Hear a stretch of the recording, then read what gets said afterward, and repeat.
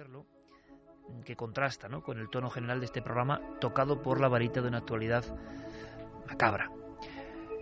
Salió el estudio del EGM y aunque el EGM que realmente a nosotros nos, nos llena de satisfacción es el cotidiano, es el de cada semana, es el de las mm, pulsaciones de alguna forma en las redes, demostrando que este programa pues es el más seguido a nivel planetario, ¿no? En castellano.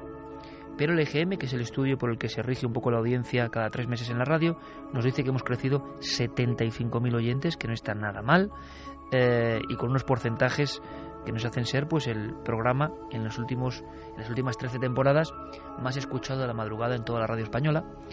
Así que gracias, 483.000 oyentes de media, 75.000 oyentes más. Así que Javier, Santi, Geray, eh, Noel por supuesto también, Fermín, Guillermo Diego, Javi Pérez Campos, Carmen, enhorabuena, felicidades. Enhorabuena, Iker. En un tema tan, ¿eh? en una noche tan tan tremebunda, pero lo estamos viviendo, eso está ocurriendo y habrá que esperar acontecimientos, ¿no?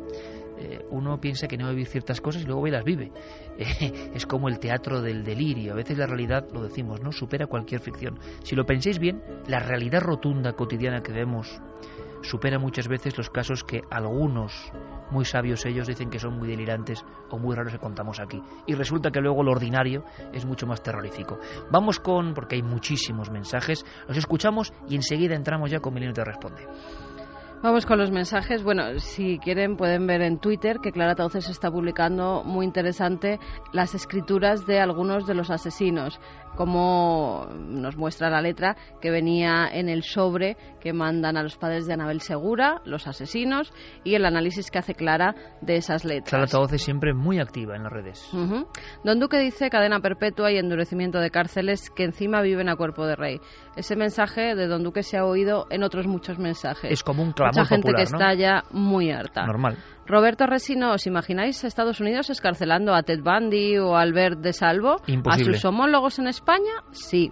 Imposible. Eugenio Olmos, movilizaciones por cierre de televisión e impasibilidad con psicópatas, terroristas, violadores, sociedad muy enferma. Eso es curioso, ¿eh? Se manifiesta uno por casi todas las cosas y muchas evidentemente están justificadas. A mí, yo lanzo la pregunta, ¿eh? y no soy nadie, pero a mí me sorprende mucho que nadie haya salido a la calle pero en tromba con esto que está pasando. No sé. Es curioso. Tal vez tendremos, como dice Bumburi, que despertar, ¿no? Sí, sí, sí. Desde luego la canción de Bumburi es más Parece que necesaria, estamos todos necesaria que nunca, ¿eh? en un sueño profundo, alelados. Bueno, pues a ver si vamos despertando. Borja dice cuántas veces habrán retumbado estas palabras en la cabeza de los padres de Anabel. Da pavor y tristeza pensarlo. Isabel, en estos momentos me alegro de vivir en Estados Unidos. Aquí no se deja libres y con 400 dólares se paga terroristas ni asesinos. ¿En qué país sucede eso? Verónica Villaplana dice la grabación falsa de Anabel Segura, pobre chica, la habían matado nada más capturarla. ¿Cómo pueden jugar así con las familias? Garby Villar, yo lo siento si alguien no opina así, pero yo como madre me hacen eso a mi hija y ese tío el día que salga de la cárcel no da más de 15 pasos. Me dirán que eso no me devolvería a mi hija, pero él tampoco iba a disfrutar de vida porque la justicia en este país es de vergüenza. Raúl Manuel Pérez, solo con escuchar la supuesta voz de Anabel y al secuestrador se me hiela la sangre. Esto sí que da miedo y no los fantasmas o espíritus. De pequeña tenía miedo a ir al cementerio y mis padres siempre me decían, los que están aquí nunca te harán daño, con los que hay que tener cuidado es con los de afuera. Muy cierto. José Pulido dice lo que cuentas Carmen es lo mismo que me pasaba a mí y a mis amigas aquí, pero con María Teresa, la chica de Motril. Es María José quien lo dice. Jaramas dice ya es hora de cambiar nuestra constitución y nuestro código penal. Licantropop, lo que está pasando en España con la justicia ya no tiene nombre. Asesinos en la calle e inocentes metidos por defender su casa. Talen Kandrik dice, este es nuestro mundo, hay que proteger al culpable y no se puede ser víctima. Horrible. Hay que proteger al culpable y no se puede ser víctima. A mí un experto en mundo criminológico me dijo una vez, no hay que ser víctima, simplemente lo malo es que muchas víctimas no han querido serlo, evidentemente ninguna. Es como un azar macabro, ¿no? Pero está claro que si eres víctima, ese terrible refrán, los refranes a veces cuentan verdades, ¿no? El vivo al bollo, ¿no? Mm. Eh, parece que nos olvidamos. Es como si no quisiéramos mirar el drama, por ejemplo, de los desaparecidos. No es Anabel Segura o las niñas de Alcácer o el niño pintor. Es que hay, creo, 8.000 desaparecidos de alta extrañeza todavía en nuestro país, ¿no? Es el limbo de lo perdido. Nadie se acuerda. Sí, y no solo eso, sino que ayer el elemento de este Ricard iba con seis guardias civiles, que los guardias civiles estaban cumpliendo órdenes, ellos no tienen la culpa, pero ¿por qué protegen a este individuo? Y no a las pobres niñas que se están llevando, ¿no? David dice, en vez de aplicar condenas absurdas de 1800 años, se debería reformar a las personas los años que necesite. V dice, si lo que dice Juan Ignacio Blanco es verdad, el caso es aún más tenebroso y ya lo era. Francisco Sánchez es una vergüenza que hoy en día esté ocurriendo esto, pero ¿en qué mundo vivimos? Se necesita un cambio de ley ya. La punta del iceberg, a toda la gente que tenga un poco de espíritu crítico, le olió mal el caso Alcácer. Baby Mares, lo peor, al margen de los horrendos crímenes, es que Ricard es un preso que nunca se rehabilitó ni intentó hacerlo y está libre. Supongo que por ello es por lo que todo este tema tan alejado de la filosofía del programa ha salido a la luz. Bueno, puede ser eh, que no, este programa siempre ha tocado el asunto de la psicopatía también, los enigmas de la mente humana. Hemos hablado muchas veces de criminales, pero es verdad que ni en el más loco de mis sueños me hubiese imaginado, o de mis pesadillas, retomar esto porque vuelve a ser actualidad, ¿no? Y veremos, estaremos, como digo, muy pendientes. Vamos, estaremos todos muy pendientes. Vamos rápidamente con Milenio te responde. Sabéis que hay un mail, milenio3 con número, arroba y que podéis eh, preguntar cosas. Por ejemplo, había una que seguía pendiente, Croatoan, leyenda o no, cosas de Santi Camacho. Yo recomiendo a todo el mundo encarecidamente que aguante, que aguante porque viene una versión musical en Made in Santi Camacho muy interesante, una canción en homenaje a ritmo de rap sobre los Illuminati.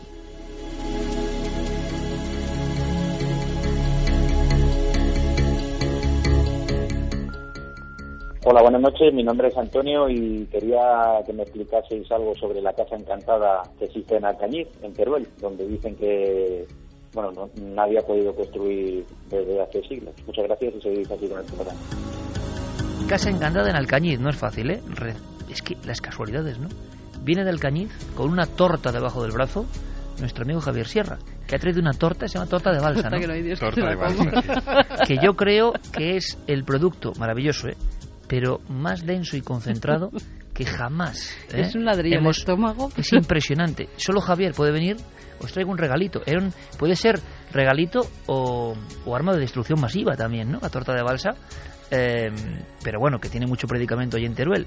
Como buen turolense ha estado en tierras de Alcañiz, presentando la librería, nuestro amigo Javier Sierra. Sí, eh, ha sido la buena noticia del día. Se ha inaugurado una nueva Eso es un milagro, ¿eh? Sí, sí, desde luego. En esta época en la que estamos, que se abre una nueva librería y que me hayan llamado para padrinarla, bueno, yo me he sentido muy feliz, evidentemente. ¿Y has sabido algo de esto de Alcañiz? Eh, bueno, hay una... donde no se construye porque está encantada. Hay una historia, yo no la conozco muy bien, pero, pero hay una historia que... El eh, habla de una leyenda en el palacio de la familia Ram en Valladolid, que es en Valladolid, perdón, en Alcañiz. Es el efecto torta. Totalmente.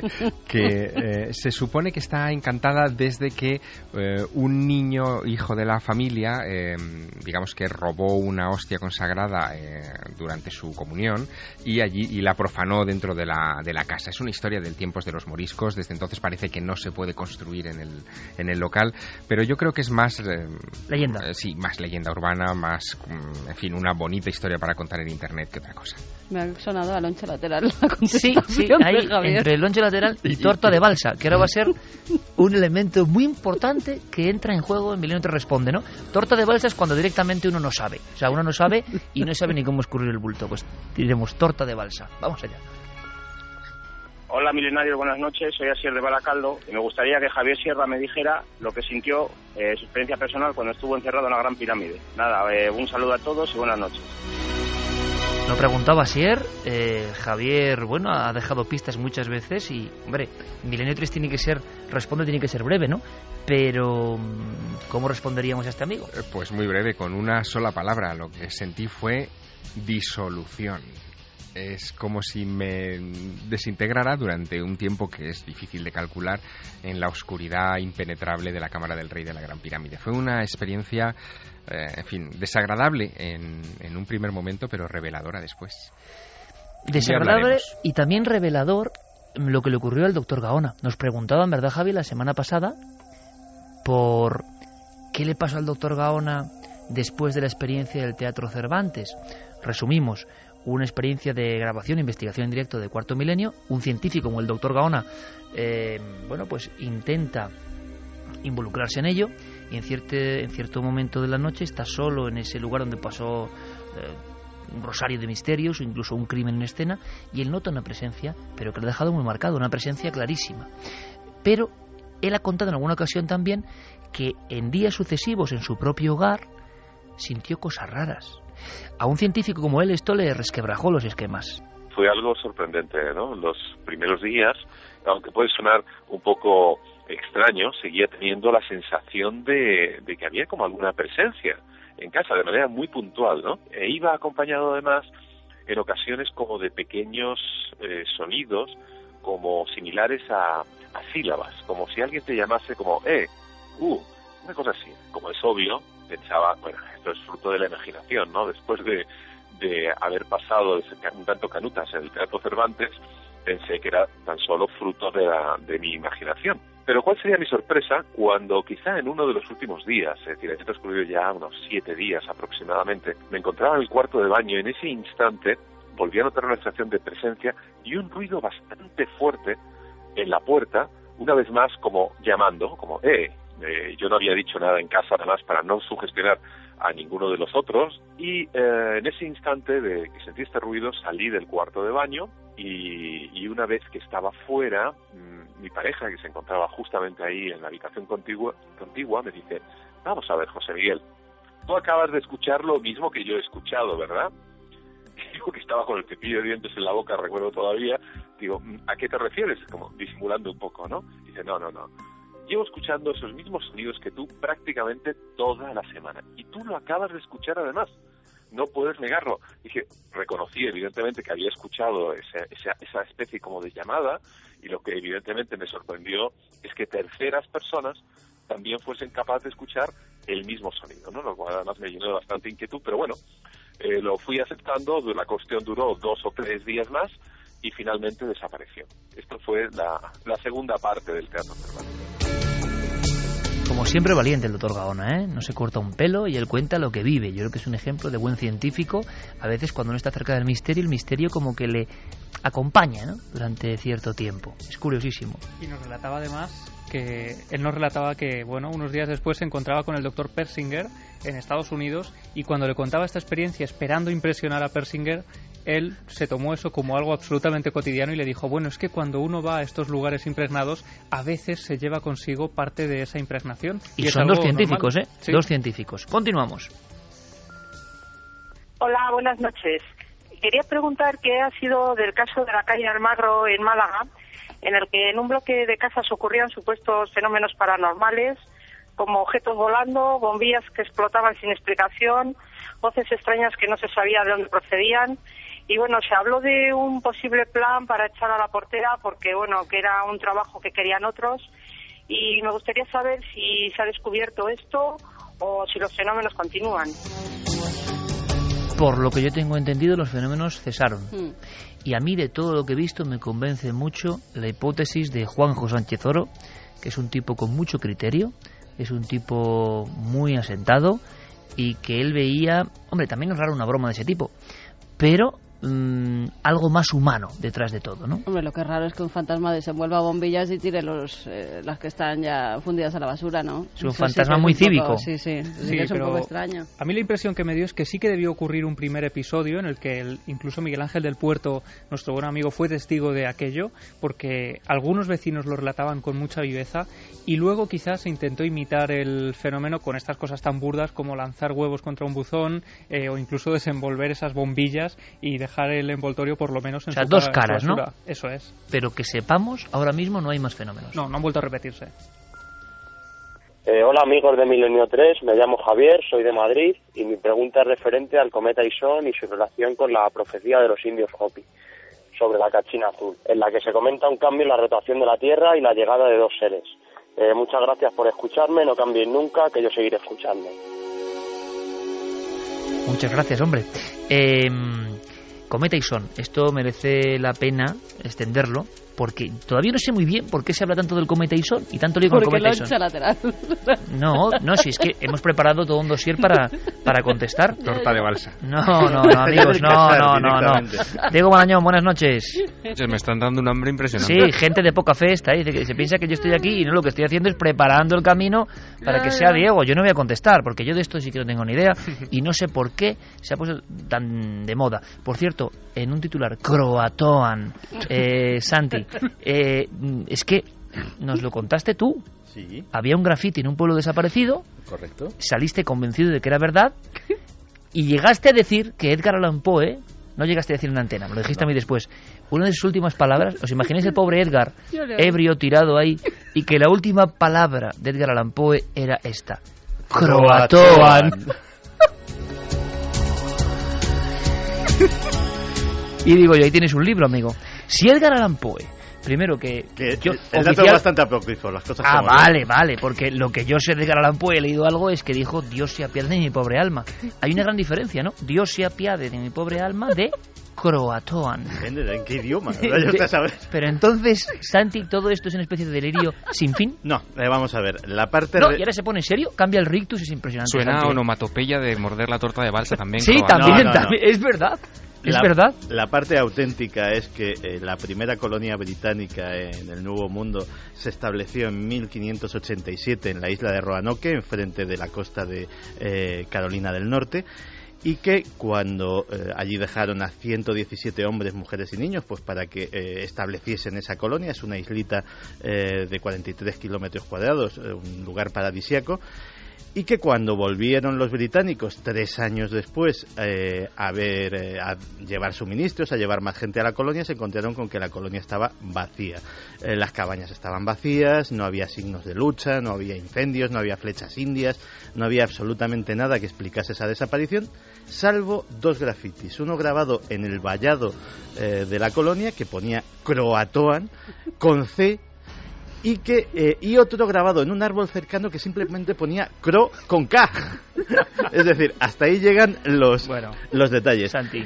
Luego santo efectivamente se hizo eh, se hizo mucha mucha leyenda sobre el asunto, se llegó a firmar esto de Edgar Allan Poe, se llegó a afirmar que en el último cuaderno Pero Santi lo defiende, pero como el político que está en el Senado. O sea, es impresionante. Sí, no, ninguna. Se llegó a afirmar que en el último cuaderno que dejó Amelia Eckart antes de desaparecer, en la última página también ponía Croatoan. Es decir, eh, todo esto es eh, una gran leyenda urbana basada en un hecho histórico Pues real. Yo estoy imaginando una cosa, ese pueblo, decían también pueblo esquimal, no queda nadie, llegan los exploradores. No solo pone Cro y Croatoan, Bueno, sino que hay una torta espera. de balsa también. Que hay... No, nieve. no, Ahora, fíjate, hay un proyecto... Oye, la- las tortas de balsa en Teruel van a vender 100% más y nos alegramos. Espera, que te voy a contar. El proyecto Croatoan. El proyecto Croatoan es, Déjalo, un, Santi, es un grupo de arqueólogos estadounidenses que están investigando do- qué pudo pasar con la colonia perdida y han llegado a una conclusión que es que eh, hartos ya de esperar que volvieran los, eh, sus compañeros británicos a socorrerles, estos navegaron de alguna forma hasta el continente y se unieron a una tribu india, los indios Lem, que eh, son Los indios LED. Lem, Ah. que tienen eh, características genéticas medio indias, medio europeas. Mira, nos estamos yendo. En serio, hazme caso, Santi. Oye, hazme que se caso. puede escribir un libro. ¿en Sí? ¿no? Decíamos, una buena revista de misterios que tantas veces nos han ofrecido. Qué mejor título para una revista. Croatoan. Es buenísima, ¿eh? O sea, es... Oye, que te juro que no entiendo el cachondeo. que yo ya Eh, bueno vale ya vamos a vamos a pasar oxígeno por aquí.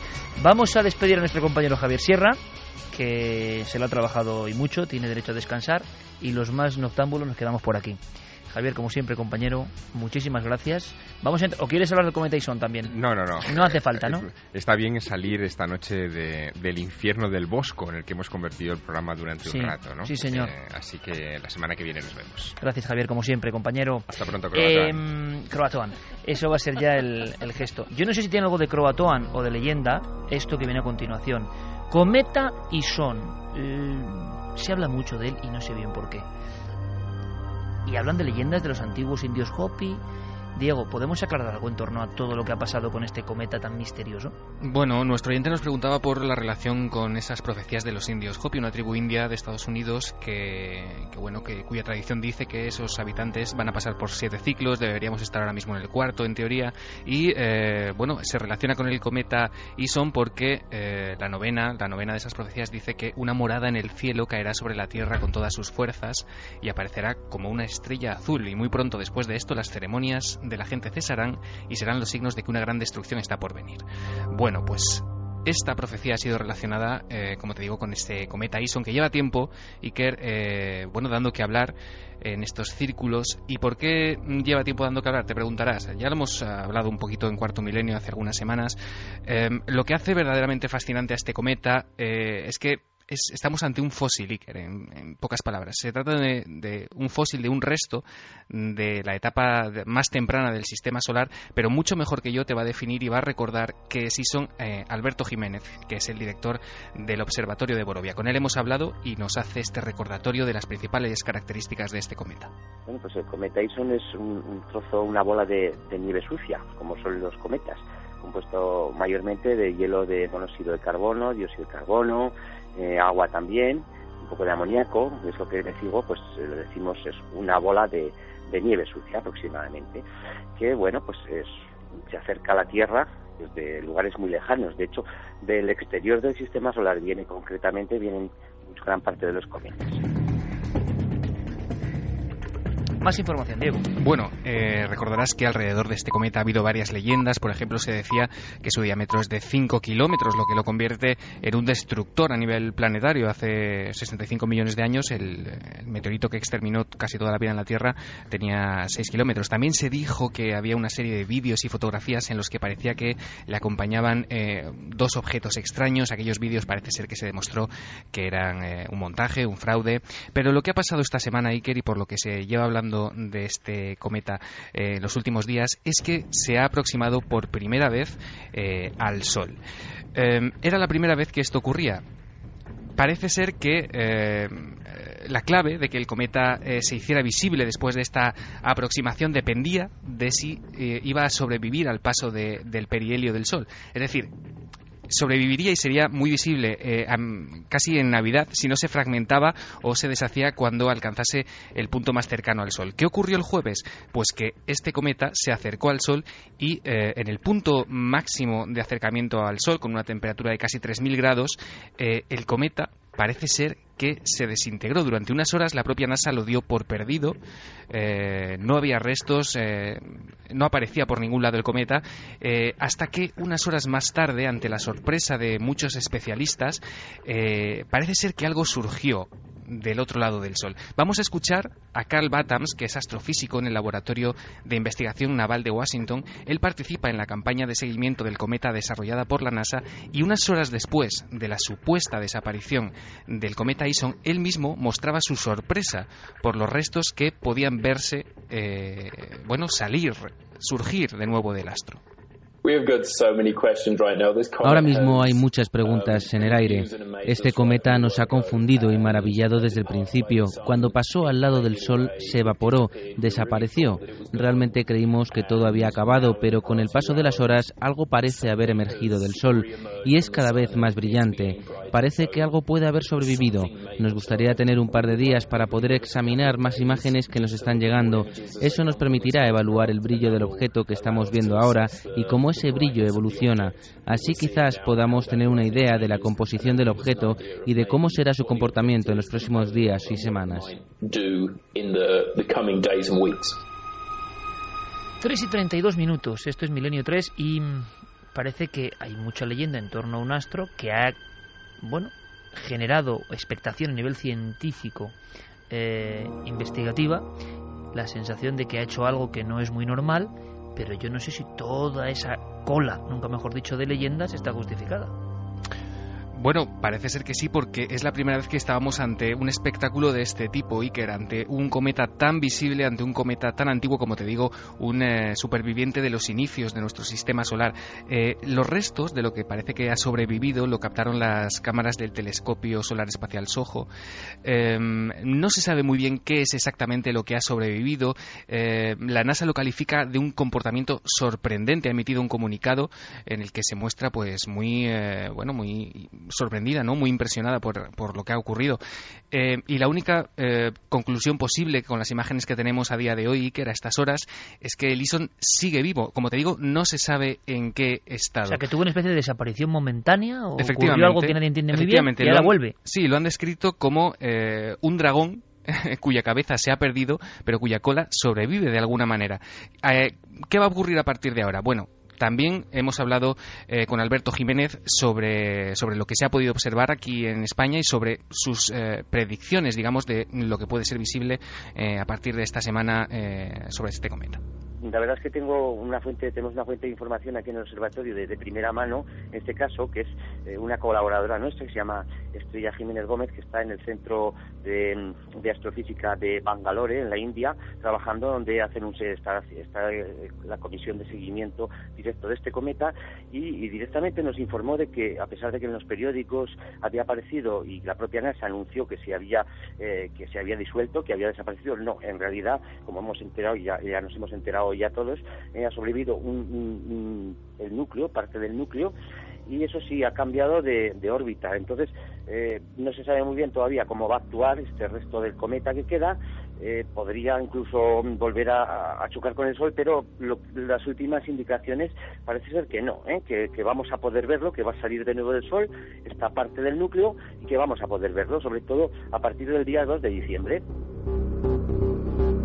Bueno, atentos estaremos al cometa Ison. Eh, es curioso eh, porque muchos incluso hablan de su relación simbólica casi con la estrella de Belén, la estrella de la Navidad. claro, pero ahora todo se conjunta, ¿no? De alguna forma y eh, se hacen nuevas cábalas. Bueno, estaremos atentos. Y Dios Hopi Comentaba, comentaba Guille esta semana, Iker, si te acuerdas, eh, que si esto estuviese ocurriendo el año pasado, Exacto, lo que voy a decir, sí, sí, sí. sí. estaríamos eh, bueno, con, los pelos de punta, ¿no? Esperando acontecimientos. Imagínate un 23 de diciembre de 2012 y que está pasando esto con un cometa cerca del Sol. También hay muchas teorías que hablan, de verdad, ¿eh? lo he leído, Claro, otra cosa es que sea cierto, que los mayas se equivocaron en un año y que estaban hablando de este año. En fin. Bueno, Diego, como siempre, muchísimas gracias. Has hablado con alguien para el, uno de los nuestros que merece mucho la pena, ¿verdad? Sí. Sin decir el nombre, ¿cómo lo describiríamos? Pues eh, un hombre hecho y derecho, yo diría. hecho y derecho, sí, porque él estudió derecho, e, efectivamente. Y se ha especializado en la España misteriosa, en la España mágica. Es una enciclopedia andante. Es un tipo con muy buen humor, ¿eh? Sí. Muy buen humor. Y, un grande. Sí, total. Además, mm, siempre presto a colaborar. Los conocemos hace la friolera de unos 18 años y siempre con una sonrisa y un gran conocimiento y mucha sencillez. Pero es interesante porque Diego en su test ha sacado cosas, parámetros, palabras que yo creo que no son los habituales en este personaje. A me ha gustado mucho. Espero que os guste también. Uno de los nuestros. Buenas madrugadas. Identifíquese, por favor. Jesús Callejo Cabo.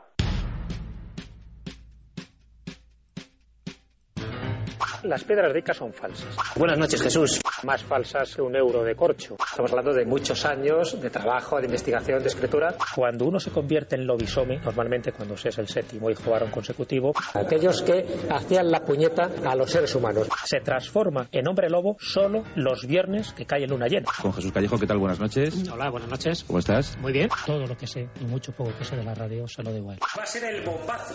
¿Eligió usted al misterio o el misterio le eligió a usted? ¿Qué fue antes, el huevo o la gallina?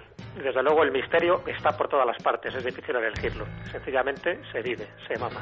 ¿En qué ocasión lo ha sentido más cerca? Pues en cada momento que abro los ojos. Ahí me doy cuenta de la grandeza que es la vida y del misterio que es el universo. ¿Cuál es su enigma predilecto? Mi enigma predilecto es el corazón del ser humano, los enigmas que puede albergar un solo ser humano en un momento determinado. Indíqueme un lugar mágico al que siempre querría volver. León, por supuesto. ¿Y uno al que jamás regresaría? Nunca he estado en la Antártida, pero tampoco me apetece. ¿Somos producto del azar y la evolución o hay algo más? Por supuesto, es evolución, pero la evolución está hecha de distintos azares, que es la palabra que damos cuando todavía no comprendemos su mecanismo. ¿Qué hay más allá de la muerte? Hay un amanecer. ¿Teme la llegada de ese momento? No, lo espero con curiosidad. ¿Supersticioso? No, da mala suerte. Es usted abogado, pero se interesó por el misterio. ¿Había mucho fantasma en el mundo del derecho? Sí, por supuesto que sí, en el mundo del derecho y en muchas disciplinas de la vida. A lo mejor por eso me interesó el misterio, para intentar determinar quién es un fantasma y quién no. Defina con tres adjetivos a Juan Antonio Cebrián. Un gran hombre, un gran amigo, un gran divulgador. Si cogemos un periódico de hoy mismo, ¿fue La España extraña un título profético? Yo creo que sí. Eh, España es muy extraña, la forma de la piel de toro ya lo indica y por supuesto cuando indagas, cuando rascas, cuando investigas te das cuenta de que es mucho más extraña de lo que nos podemos imaginar. Está al frente de un museo muy especial que acaba de abrir sus puertas. Cuénteme. El Museo de la España Mágica es el único y por lo tanto el mejor. Recomiendo su visita para darnos cuenta de que no solo de historia vive el hombre. Escribió un libro que abría el mundo del misterio al público infantil. ¿Qué tal las críticas de los chavales? Las críticas siempre han sido muy favorables, pero más favorables han sido los dibujos. Me imagino que este tipo de libros que van ilustrados, las imágenes entran más que las palabras. Desde luego, no he tenido ninguna crítica mala. ¿Qué es una brújula? Por supuesto, una viejola montada en una escóbula. Y también un programa de radio en el que estamos embarcados unos cuantos amigos y yo. ¿En qué cree Jesús Callejo? Creo en la vida, creo en el amor. ¿Cuál ha sido el fregado más grande en el que se ha metido? pues en algún que otro trabajo, en algún otro proyecto, de esos que sabes cómo empieza pero no sabes cómo termina. Si piensa en su infancia, la imagen que aparece en su memoria es... Aparece mi pueblo, aparecen los castillos, aparecen mis compañeros jugando y aparece sobre todo ese sabor entrañable que tienen los pueblos castellanos leoneses. ¿A quién le encantaría haber conocido? Me hubiera encantado conocer a Isaac Asimov y a Walt Disney. ¿A qué tiene miedo? Tengo miedo a que muchos de los proyectos que tengo en mente no se lleguen a realizar, pero no porque no llegue a tiempo, sino muchas veces por la ignorancia o la estupidez humana. Un libro y una película. Un libro, por ejemplo, La aventura de los godos de Juan Antonio Cebrián, ya que le hemos citado, una película, La princesa prometida, porque me parece un cuento de hadas perfecto llevado a imágenes. Un pintor y un músico. Pintor Archimboldo. Siempre me ha encantado sus figuras caprichosas, sus rostros hechos con, con frutas y todo tipo de, de flores. Es decir, la imaginación al poder. Y un músico, me encanta, sobre todo la música barroca, me encanta lo que hizo Verdi en su momento y me encanta también lo que hizo Rossini, que llegó un momento en que dejó de componer cuando se dio cuenta que, lo, que después de Guillermo Tell ya nada mejor podía componer en el futuro. Acabemos con un vicio confesable. Como vicio me gusta el contacto con los amigos. Eh, prefiero siempre un buen café, prefiero una buena cerveza, pero prefiero una buena compañía. Sin compartir las cosas no hay felicidad. Gracias por su colaboración. La identificación ha sido completada con éxito. Desde este momento puede considerarse de forma oficial y por méritos propios uno de los nuestros. Qué bonita es esta música que pone Jeremy Martínez. Y es que es verdad, yo estoy redescubriendo a Michael Field. ¿eh? Dije un día algo que creo que es injusto. Hizo Tubular Bells y luego siempre intentó volver a hacerlo y no es verdad, no es verdad. Tiene auténticas obras maestras. ¿Qué pasa con la música? A veces es como los libros, ¿no? Uno la redescubre, mmm, se acopla en paralelo a su existencia en ese momento y se vuelve a producir la magia, ¿no? Me está pasando con Michael Field, me está pasando con Neuronium, ¿eh? Michael Hugen tiene muy buenas composiciones antiguas. Pero ahora vamos a algo que también de alguna forma ha sobrevolado hoy. Criptogrupos, sociedades secretas. Hablamos de la más célebre, Santi. Hablamos de los Illuminati. Yo creo que es, a día de hoy, no solo por los, las novelas de Dan Brown, sino desde mucho antes, cuando alguien se interesa por este tema, eh, pues automáticamente le vienen los Illuminati. ¿Habrán existido, seguirán existiendo eh, todas las centenares, los miles de historias, historietas, rumores, eh, genealogías que se pueden encontrar en Internet tendrán algún fundamento? Pues algo de eso vamos a averiguar hoy. Sabéis que Santiago Camacho lleva toda la temporada en su sección eh, intentando hacer el gran libro hablado de las sociedades secretas, contando lo que no se suele contar. Pero los Illuminati es que llegan, quizá por la fuerza de Dan Brown, a estar muy metidos en el- la cultura de consumo, en la ciudadanía. Yo tengo una anécdota tremenda, eh, lo recuerdo perfectamente, en un parque un tipo pasa con una bicicleta, casi se estrella, y además era, en fin, no parecía un premio Nobel. Y, y cuando intenta ahí esquivar el banco con el que se iba a estrellar, se me queda mirando fijamente y me dice, Iker, los Illuminati no dominan, ¿verdad? Yo dije, ¿hasta qué punto ha llegado el tema de los Illuminati? O sea, todo el mundo estaba con la fiebre Illuminati. Bien, es un ejemplo que, que lo pone claro, ¿no? Illuminati, ¿qué hay de verdad? Si alguien lo sabe, eso es Santiago Camacho. ¡Ojo! A la música que trae Santiago Camacho al final de la pieza. por- En la madrugada del 1 de mayo de 1776 nació en la ciudad bávara de Ingolstadt la que estaría llamada a ser la sociedad secreta más célebre de todos los tiempos, la llamada Orden de los Perfectibilistas, también conocidos como los Iluminados de Baviera, y que pasaría más tarde a llenar millones de páginas como los Illuminati. Su fundador, un profesor de universidad llamado Adam Weishaupt, tenía muy claro lo que era mejor para la humanidad del futuro. Un mundo en el que fuera abolida la monarquía y la religión.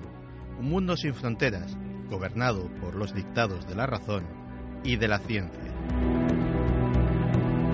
Para conseguir este fin, decidió crear una sociedad secreta a imagen y semejanza de las dos organizaciones que él consideraba las más eficaces de su época, la Compañía de Jesús y la Masonería. De los primeros tomó la estructura organizativa y de los segundos los rituales y los símbolos. Cuando llegó el momento de expandir su reducido núcleo de adeptos, tuvo la que posiblemente fue la idea más revolucionaria en la historia de las sociedades secretas. ¿Por qué no infiltrarse en el núcleo de la masonería y reclutar allí a sus nuevos miembros, generando lo que sería una sociedad secreta dentro de otra?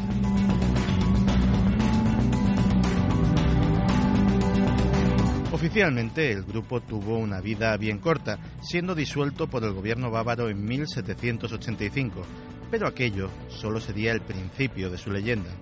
Para muchos, los Illuminati no se habían disuelto, simplemente habían pasado a la clandestinidad para cumplir sus objetivos con el mejor camuflaje posible, la no existencia.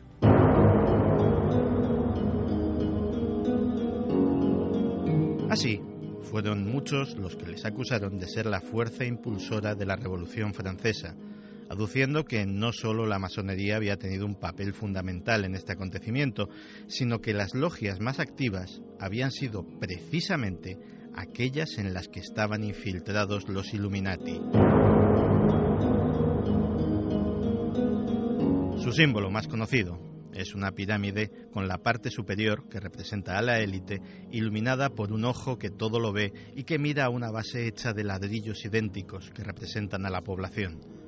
Según los teóricos de la conspiración, la presencia de este dibujo en el símbolo de los Estados Unidos por excelencia, el dólar, es una prueba innegable del dominio Illuminati en todo el mundo. Para los modernos teóricos de la conspiración, los Illuminati han conseguido con el paso de los siglos controlar un sinfín de organizaciones. El Vaticano, las Naciones Unidas, el Banco Mundial, la CIA, la NASA, el Grupo Bilderberg e incluso diversas sociedades secretas como la célebre Calavera y Huesos. Con el paso del tiempo, la leyenda de los Illuminati no ha hecho sino crecer. Si buscamos en Internet, nos encontraremos miles de páginas que acusan a tal o cual famoso de pertenecer a sus filas. Encontraremos sesudos análisis de simbología que nos demuestran que la práctica totalidad de las multinacionales son controladas por ellos. La inmensa mayoría de estos son especulaciones sin sentido, aunque, quién sabe, a fin de cuentas, se dice que la treta más efectiva del diablo es que nadie crea en su existencia. Con esta música es difícil, ¿eh? Concentrarse, Santi, ver. ¿no? Estábamos diciendo eh, que la idea de infiltrarse en las sociedades secretas, de crear células eh, dentro de otras organizaciones, pues fue absolutamente genial y les hace imposibles de ser trazados. Eh, se sabe efectivamente que las, eh, las logias masónicas que fueron más activas, aquellas a las que pertenecían Danton, Marat, Robespierre en la Revolución Francesa, eran precisamente aquellas de las que se sospechaba que habían sido eh, contaminadas por, por los Illuminati bávaros. Y a partir de ahí, pues todo son especulaciones. Su salto a Estados Unidos, su relación con los Rockefeller, con importantes familias de las finanzas norteamericanas, su incluso implicación en la financiación de hechos eh, como la Revolución Rusa. Es decir, hay para todos los gustos. A día de hoy se les implica con el grupo Bilderberg, con muchas multinacionales que tienen esa pirámide eh, dibujada en sus logos de una forma más o menos esquemática o de una forma más o menos sugerida, y muchas estrellas del pop que no se sabe. A ver si puedes ponerme otra vez el inicio, porque yo estoy realmente hipnotizado. O sea, no, no, sinceramente, y creo que el público también. Y a ver, a ver, escuchad por favor, amigos. Esto es un mito como el del hombre quemado, ¿eh? Al mismo nivel. Escuchad el deje, la cadena, imagino que a nivel leyenda, pero grandes divas del pop, como muy condicionadas y muy mostrando siempre la misma faceta, que en el fondo tienen que ver con los Illuminati. Claro, los nombres yo creo que son los que tenemos todos en mente. Estamos hablando pues de Lady Gaga, de Britney Spears, eh, de Miley Cyrus etcétera, etcétera. Se dice eso, se basan en determinados eh, gestos, símbolos, eh, elementos de su puesta en escena y yo creo también que hay mucho de eh, provocación por parte de esas propias estrellas. Sabiéndolo. Sí, es, mira, es como cuando en la época dorada del heavy metal los propios grupos de heavy se investían de una capa de, maso de perdón de satánicos ¿Para qué? Para, como truco publicitario para que se hablase de ellos como eh, sacerdotes del diablo, poco más o menos, cuando en realidad era un truco publicitario. Pues yo creo que esto de los Illuminati está siendo cogido de la misma manera por las estrellas del pop. Vamos a ver si, si analizamos esos signos visualmente. Lo haremos. Y ahora con esta música maravillosa, nos Illuminati ya queda en el limbo de los grandes éxitos del milenio 3 para siempre. Vamos ya con vuestras eh, preguntas que seguro que son mucho más inteligentes que nuestras reflexiones. Hay muchos mensajes que tienen que ver con Alcacer y con Anabel Segura, ¿no? Y si, claro, y no queremos ahora, porque además esta música es como para acabar, la pone Jeremy Martínez, nuestro honor Star Platinum, para acabar con fuerza, el resumen de todo ello o por dónde van las cuestiones de los eh, oyentes que sería indignación, ¿no? Indignación y, que hace falta que, que se modifiquen las leyes si es necesario, que no se puede sacar a esta gente a la calle, que lo diga quien lo diga, nosotros no podemos tener en la calle a estas personas que han cometido tan cruentos asesinatos. Hay como una especie de, de incredulidad ¿no? ante lo que está ocurriendo, yo creo, ante cosas que, que nos dejan helados lo decíamos antes, ¿no? Por la canción de nuestro amigo Enrique Bumburi Despierta, que es un concepto muy global. Este programa ha sido muy oscuro, pero muy real. Por eso.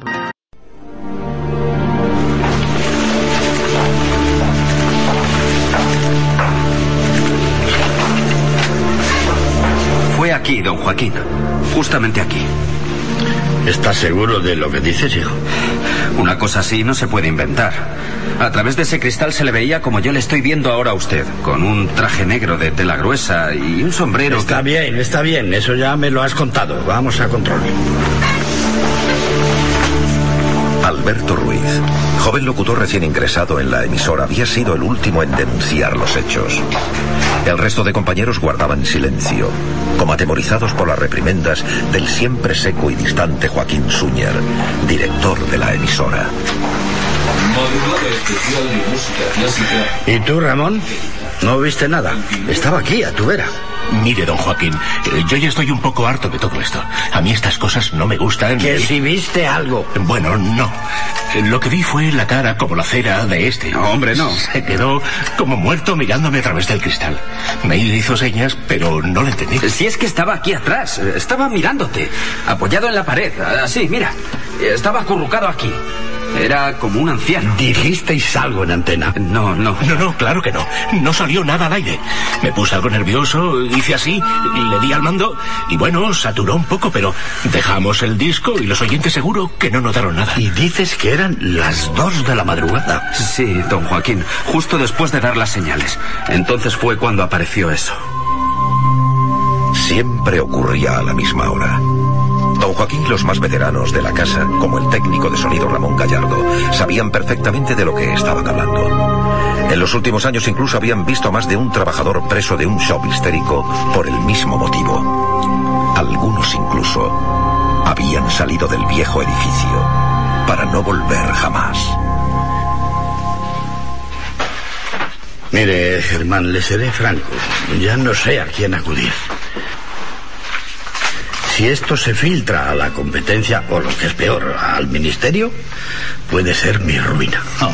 Yo sé que pasa algo en este edificio, algo fuera de lo normal, y desde hace tiempo.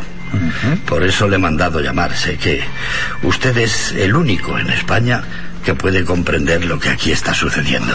Estimado amigo, nos conocemos desde la guerra y yo jamás dejo a un compañero en la estacada. Me he traído el viejo grabador Nagra de mi despacho porque debes saber que es muy probable que aquí se capten ciertas psicofonías. Eh, ¿Psico qué? Eh, mire, admiro su vocabulario científico, pero eh, comprenda que No hay nada por qué excusarse, amigo. En Alemania, Suiza o Bélgica, el término es pan de cada día. Allí hay cátedras de parapsicología en las universidades y estos fenómenos son algo normal, cotidiano. No hay por qué temer. A mí todo esto me da mucho respeto, Germán. Él sabe que soy muy religioso y que hay cosas que parecen del diablo. Ese viejo de negro se aparece aquí por algo y lleva haciéndolo muchos Oh. años. Querido amigo, permítame decirle que ese es el estigma de nuestro pobre país, la superchería. Por eso no nos toman en serio en Europa. La parapsicología nada tiene que ver con la religión. Y menos mal, al diablo con el diablo. Seguramente alguien con una fuerza mental incontrolada o psicoragia está provocando un poltergeist. ¿Un polter qué? Eh, No le entiendo, profesor. Eh, por cierto, ¿no era mejor haber estado acompañado de un técnico que además le ayudase a grabar? Ha hecho muy bien usted en dejar grabada la programación. Con más gente en el edificio sería imposible el experimento. Eh, No se inquiete, hombre, no se inquiete. Y- Y ahora apague la luz. ¿Apagar? ¿Cree usted que es necesario? Apague la luz y silencio.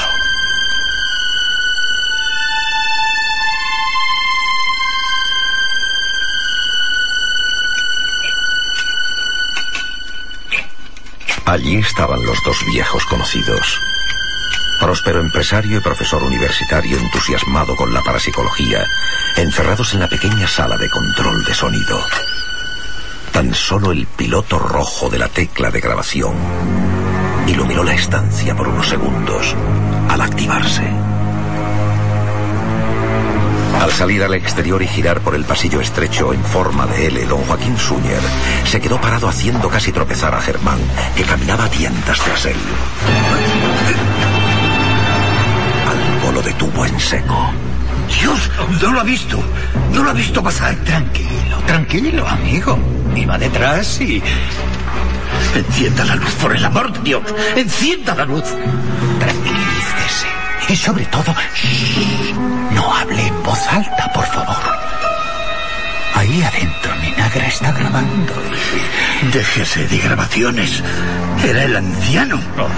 Pero no lo ha visto. Ha cruzado por ahí. Ha pasado por ahí. Siéntese aquí y ni se le ocurra dar un paso más.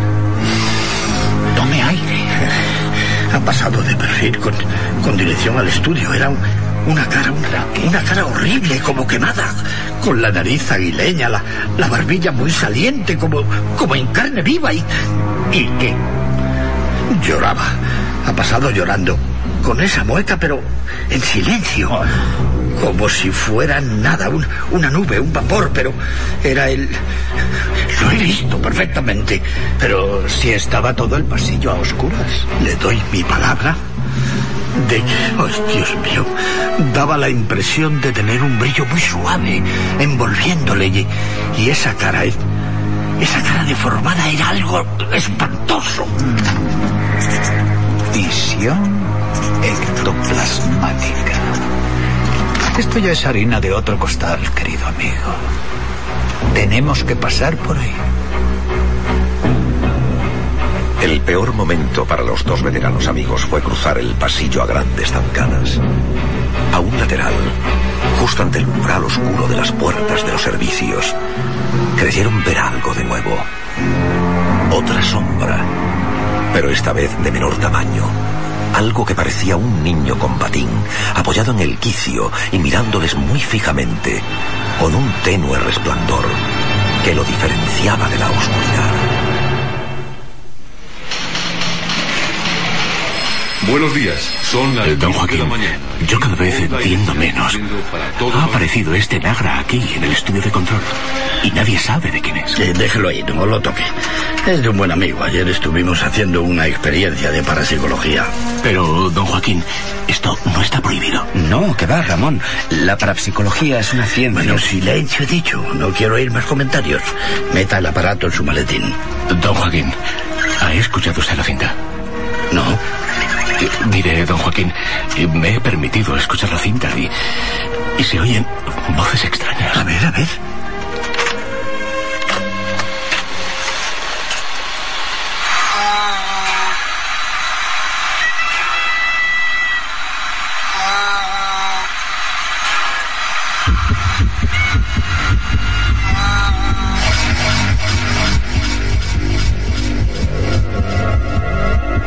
Aquella misma tarde don Joaquín Suñer fue ingresado en el hospital. Su maltrecho corazón había sufrido un gran impacto al comprender de un modo directo lo que eran las psicofonías. La madrugada siguiente, estando ya ingresado en la habitación 201, recibió una llamada que rompió la calma.